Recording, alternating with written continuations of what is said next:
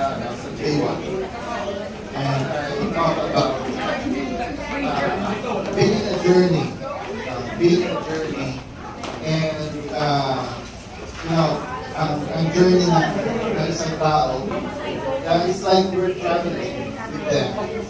And being part, I know uh, sa J3, most of, most of you uh, travel, being a journey dun sa, sa faith na pagkasama ito. I haven't known them well, kasi bago lang, but I know, minsan nung naririnig ko yung uh, uh, like the testimonies no? kung, paano, kung, kung bakit sila nalulungkot dahil uh, physically ay may hiwalay na pagkasama ito. Nakita ko yung pag-ibig na uh, nila sa and how you, uh, you serve Jesus to, to the church. And you know, journey ay it's like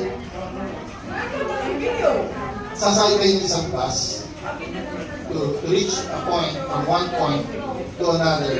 Sometimes, uh, para makarating ka doon sa gusto mong puntahan, you have to ride different bus.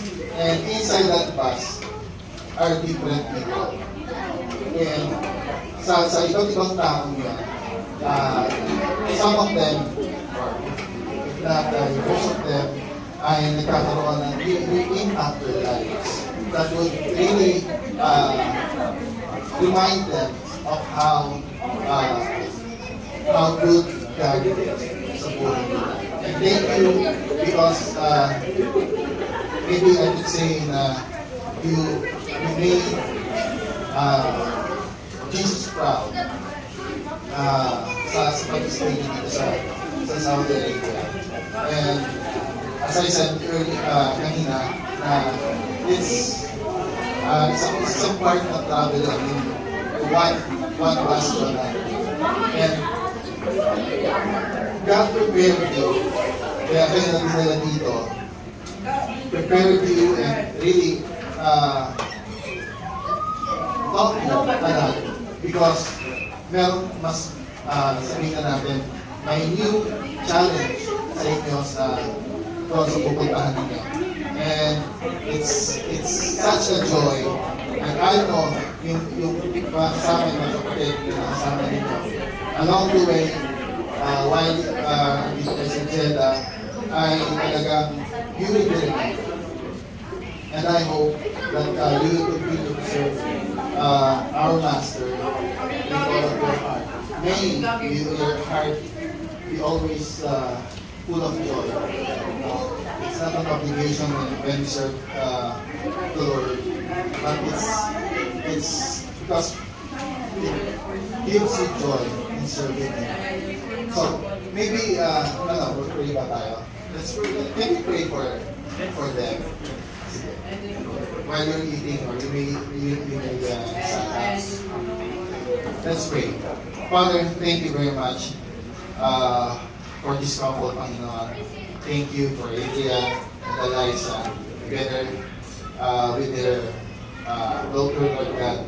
Thank you for being part, these people, for them being part of a wonderful community, Lord God.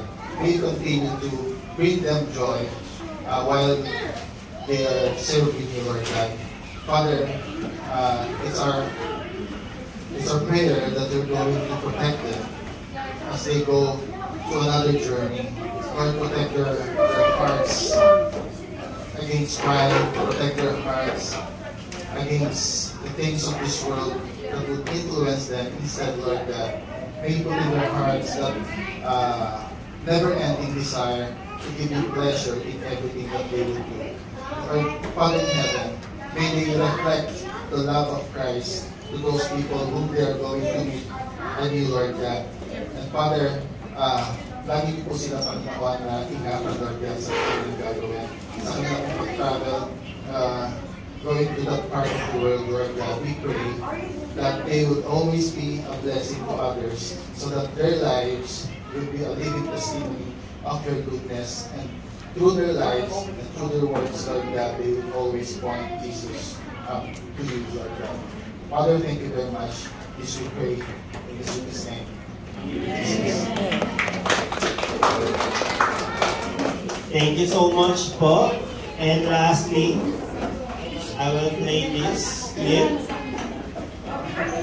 from our dear pastor. Assalamualaikum warahmatullahi wabarakatuh.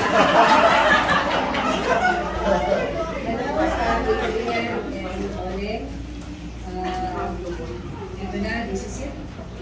Ito na yung pinag-pray natin. Uh, ay makakulit na na. Napakalaking blessing nyo sa church. Kayong mag-asawa, hindi ba kayo mag-asawa ay blessing kayo sa, sa church.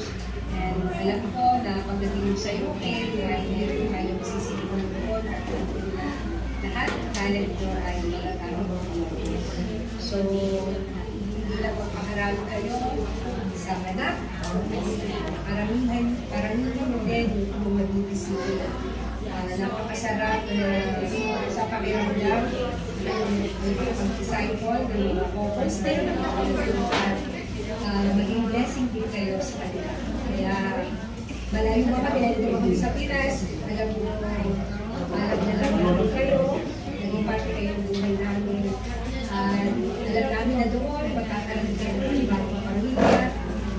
spiritual family, ko din na doon, dahil hindi kayo mag-asawa,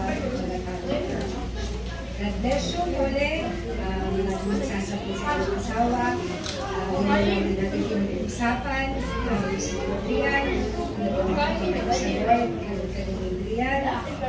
Pasensya mo si Mole. Nakatanasan ay uh, yun na lang ay parte ng pag-asawa. So, thank you so much sa inyong, sa inyong dalawa. And yun, parang maiiyak ako, wala naman ako dyan sa Jeddah. At sana, dito sa Pinas. And magandang ko ka. Yeah? Ingat ka sa pagsuswimming sa UK ha, malamig doon. Praise God. Salamat sa buhay niyong mag-asawa. Ah, nakita namin yung group niyo from from a baby Christian ngayon ay tuloy-tuloy na rin yung kapagamit sa Gambia. So encouraging sa inyo. Gusto nyo uh, disciple sa inyo nandun pa rin yung sa, sa missing part. So I believe yung energy ng Diyos na when the time comes, I'm sure malapit na, and then uh, disciple na sa pagdadala ng Lord sa inyo. So, I pray na mag-allocate ka ng sa pagkain sa inyo. And don't never forget yung authenticity, mahalaga na uh, Siyempre, mayroon mag-disciple kapag kayong dalawa ay ayos. So, yung tinuturo nyo ay dapat tutulungan sa inyo. So, and one more thing, siyempre, nag-upgrade yung buhay nyo, nag-upgrade yung inyong lifestyle. Sana yung uh, para sa Lord, nag-upgrade din, ano? So, yan, para balansin yung mabuti, siyempre, marami ng blessings doon.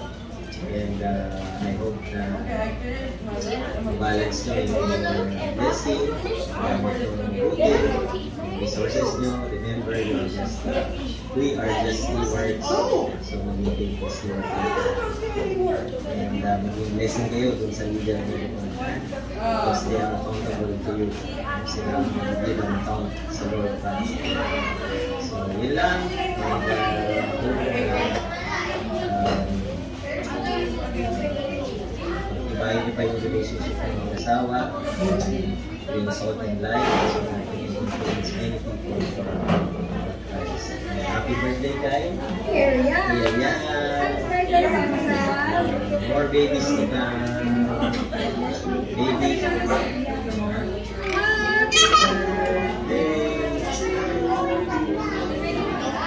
God bless you. God bless you dyan sa sa. Uh, Kamusta Kuya Bob lahat? And Kuya Sam and family and all the rest. Salamat sa inyo. God bless you. Bye-bye. Ayan, thank you so much po. Palakpakan po natin si Pastor. And also, let's give a round of applause to Sis Pao and kay Adrian and uh, Irian. Thank you so much for the surprise. Okay, so ikat natin yung messages ng dalawa kasi mamaya pagkahandaan yung dalawa yan. So kayo naman magme-message. So later kayo naman na magme-message. Ngayon po, enjoy muna natin ang food. So kain muna tayo and later on may bibisita po sa ating bubuyog. Yung malaking bubuyog. Jollibee! Okay? So let's enjoy our meal.